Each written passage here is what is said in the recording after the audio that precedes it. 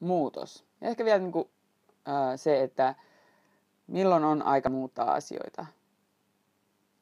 Me ihmisil, ihmismieli on vähän sellainen, että se hirveän, tai siitä on itse asiassa monilla tutkimuksilla todettu, että ihmismieli, kun se tavallaan lähtee siitä, että jokin asia on tietyllä tavalla, niin sitten se ei kauhean herkästi lähde tarkistaa sitä oletusta. Ja tämä, tällaisessa niin kuin äärimmillään tämä näkyy esimerkiksi sellaisissa tilanteissa, että on tehty testejä, jossa ää, ihminen laitetaan ensiksi tilanteeseen, jossa jo, yksi ihminen, niin kuin, tai että ihminen tulee tiskille, ja sitten se tiskin takana joku tyyppi, ja sitten se tyyppi niin kuin, kysyy siltä opiskelijat, tai yleensä opiskelijat, jotka näissä tutkimuksissa on, että no mitä sä haluaisit, että, että mitä sä varten sä oot täällä, joo mä tarttisin, mun pitäisi hakea tähän kurssille. Ja sitten se tiskin takana oleva tyyppi niin kuin menee silleen sinne, että joo mä otan tämän kaavakkeen täältä, täältä alhaalta, alta, se menee sinne kokonaan tiskin taakse piiloon, ja toinen ihminen nousee sieltä ylös sen kaavakkeen kanssa. Ja valtaosa ihmisistä, mä en muista puhutaan yli 70 prosentista, ei huomaa, että ihminen on vaihtunut tänä aikana. Vaikka se olisi se, niin kuin eri ihminen palvelee sitä, ne ei ole monen metrin päästä toisistaan, tai edes metriä kauempana välttämättä. Syy siihen, että ne ei huomaa sitä muutosta, on, että ihmismieli on tottunut siihen, että ihmiset ei muutu kesken keskustelujen.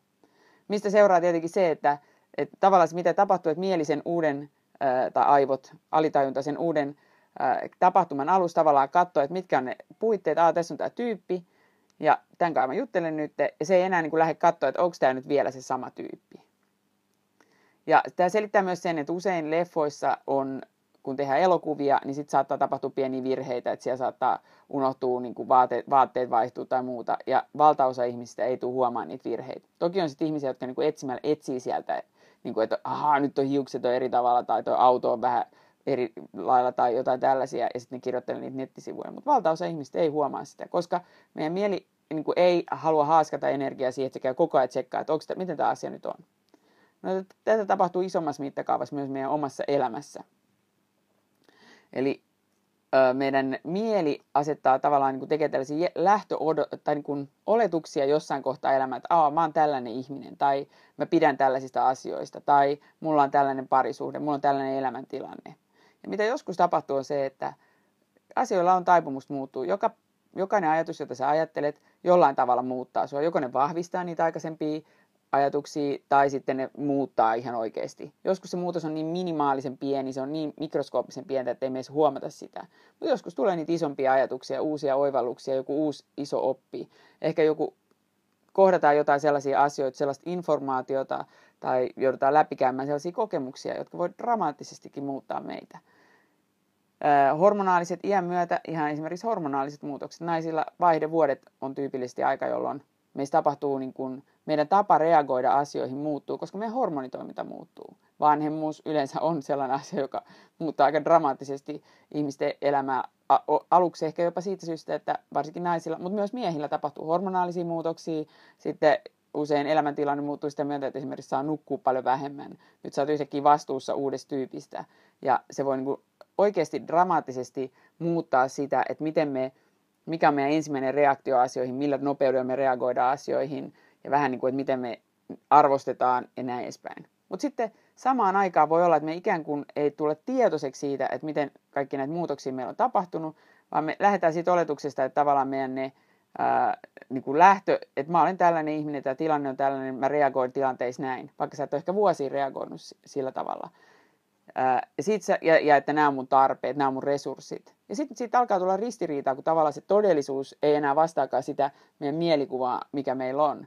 Ja, ja siitä seuraa sitten kaikenlaisia ongelmatilanteita, jos me esimerkiksi saadetaan ottaa enemmän, esimerkiksi mä, mä huomaan, että mulla käy helposti se, että mulla, mä pikkasen vieläkin ehkä jään jumiin siihen, no nyt mä oon alkanut päästä siitä jo eroon, mutta että pitkään aikaa sen jälkeen, kun tulin äidiksi, niin mä en niin kuin, mun oli todella vaikea hahmottaa sitä, että mä en esimerkiksi jaksa kirjoittaa yhtä paljon. Mä en pysty kirjoittaa niin kuin, yhtä paljon kuin aikaisemmin. Mä en jaksa kirjoittaa yhtä paljon kuin aikaisemmin. Ihan sen takia, että lapset, tai lapsi, esikoinen jo valvotti niin paljon. Et mun tavallaan tietty kapasiteetti, keskittymiskyky oli merkittävästi heikentynyt siihen, mitä se oli ennen lapsia. Ja sitten tavallaan tulee vähän niin kuin semmoinen, että, että miten mä nyt, että kyllä mun pitäisi pystyä nyt jaksaa, mun pitäisi pystyä tehdä näitä asioita. Ja sitten mä en vaan pysty. Ja sitten tavallaan tuntee vähän niin kuin huonoa omaa tuntoa ja on vähän silleen, että onko mä nyt vaan niin laiska. Ja sitten vasta kun niin kuin tavallaan pysähtyy ja että ei, mun elämä, mä en ole enää se ihminen. Mulla ei ole niitä resursseja, mulla ei ole sitä kapasiteettia, mulla ei ole sitä aikaa, mikä mulla aikaisemmin oli. Mä en, minä en enää pysty näihin asioihin. Ja mitä enemmän me niinku tavalla, tai sen takia välillä, en mä tarkoita, että koko ajan pitäisi tsekata, että onko me, kuka mä, mitä mä haluan, mitkä muut resurssit on. Mutta jos sä huomaat, että sulla alkaa niinku elämä, tuntuu, tulee sellainen tunne, että elämä tökkii. Että tulee koko ajan vähän niin kuin silleen, että asiat ei jotenkin etene. Ja jotenkin, niinku, jotenkin asiat tökkii. Tuntuu vähän niin kuin haastavalta, vaikealta. Ja on vähän sellainen, että mun pitäisi pystyä parempaan. Niin se on, ne sellaiset ajatukset on merkki siitä, että nyt kannattaa pysähtyä. Ja lähtee vähän katsoa, että hmm, mikäs, mikä on nyt se todellinen, mikä mun todellinen status on, mikä mun todellinen, todelliset resurssit on nyt, miten paljon mä oikeasti jaksan, mikä mun oikeasti kapasiteetti on. Ei se kapasiteetti, mikä mulla aikaisemmin oli, vaan mikä mun niin todellinen elämäntilanne nyt on. Tehdään vaikka ottaa ihan paperille kirjoittaa, että mihin mun aika menee päivisin. Vähän kat seurata sitä, että miten paljon sä oikeasti esimerkiksi nukut, miten sä syöt. Ja sitä kautta, niin että syöt sä säännöllisesti, syöt sä miten terveellisesti, miten paljon sitä alkoholia nyt oikeasti kuluu esimerkiksi. Ää, ja, sitä, ja mi, niin kuin miten pirteä sä oot aamuisin. Ja sitä kautta lähtee vähän niin kuin seuraa sitä, että, että niin kuin, vähän niin kuin tutustuu uudestaan itseesi, tutustuu uudestaan siihen tilanteeseen, missä oot. Ja sitä kautta voi lähteä sitten miettimään, että hetkinen, ää, onko mun niin kuin, ää, että onko nämä asiat, mitä mä nyt yritän tehdä, niin onko mun esimerkiksi, tai mitä mä haluaisin, tai mitä mä ajattelen, että mun pitäisi tehdä, niin onko mulla enää resursseja niihin? Kiinnostaako ne mua enää? Mitkä asiat on mulle nyt tässä elämänvaiheessa oikeasti tärkeitä? Onko mä nyt pitänyt kiinni vielä jostain asioista, niin kuin yrittänyt vielä niin kuin te, väkisin tehdä asioita tai pitää kiinni ihmissuhteista tai niin kuin, tavoitella jotain juttuja, jotka itse asiassa ei enää palvele mua, koska mä en enää ole se ihminen. Että joskus ne on voinut hyvinkin palvella, ne on joskus voinut olla tosi tärkeitä kun mä olin erilainen ihminen. Mä ajattelin eri lailla, mulla oli erilaiset resurssit, mun toiminta oli, toimintakapasiteetti oli tosi erilainen. Mutta että, että nyt voisi olla ehkä hyvä alkaa vähän miettiä, että hetkinen, niin välillä ihan hyvä pysähtyä ja miettiä, kuka mä oon, mitä mä haluan. Ja varsinkin nyt, kun meillä alkaa uusi vuosi, uudet kujeet, niin tämä yleensä on sellaista hy- hyvää aikaa, kun päästään nyt näistä joulu, jouluhässäköistä ohi, niin on hyvä aikaa sitten vähän pysähtyä kelalle, että hmm, kuka mä olen, mitä mä haluan. Ja sitten sitä kautta lähtee lähtee sitten ehkä päivittää sitä, että ja, ja sitten kun sä taas niin kun tiedät vähän sen, että tämä on se mun todellinen elämäntilanne, niin sitten sieltä voi alkaakin tulla uusia ideoita.